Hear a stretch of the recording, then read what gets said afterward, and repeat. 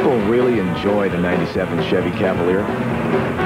It could be because of its ABS brakes and dual airbags, or it could be the rush of the largest engine in its class. Hey! It's my turn.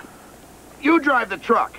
Okay, okay, just let me try the red one first. Either way, for this price, there's no reason they shouldn't be enjoying one of their own.